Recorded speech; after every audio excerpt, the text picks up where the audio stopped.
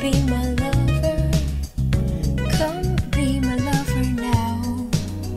It would be such a waste. So just come.